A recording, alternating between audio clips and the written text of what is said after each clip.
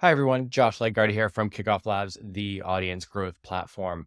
Today, I want to talk about a new feature within our embedded or pop up boxes. So, Kickoff Labs lets you set up pop ups or embedded campaigns for giveaways, referrals, or just plain lead generation. In this case, I've got an embedded box for a referral program. And what you can see is I've got the form here and it tells me how many referrals I've got and how many points until the next reward. But there's really no mention about what the rewards are here. And that's because by default, before someone signs up, we don't actually show, we focus on that stage of the funnel. We should focus on the before they've signed up stage of the funnel. But you can actually change these defaults and whether or not anonymous actions and rewards show. And this is a recent update to Kickoff Labs. So if I go in here, the design, and I choose actions, rewards, and prize text, you'll see there's now options for show anonymous actions and show anonymous rewards, show the leaderboard, and show the anonymous leaderboard. So if I want to add the actions as anonymous, I can show them up here, show them here.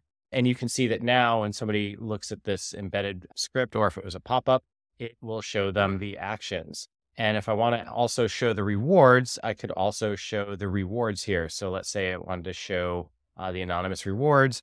I'll check that. Now, if I scroll down, you'll see that there's uh, free shipping, 30% off, and I've got the rewards. I could choose just to show them if I wanted to entice people to join the rewards program without showing them the actions that would get them additional points towards the rewards. Oh, uh, before I forget, anonymous actions. We do actually track these for people that haven't registered yet. So people can be earning points by telling their friends or taking these other actions.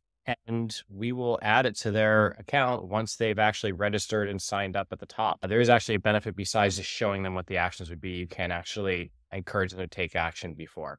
I hope you enjoyed this quick little tip look forward to working with you more on your contest and next referral campaign.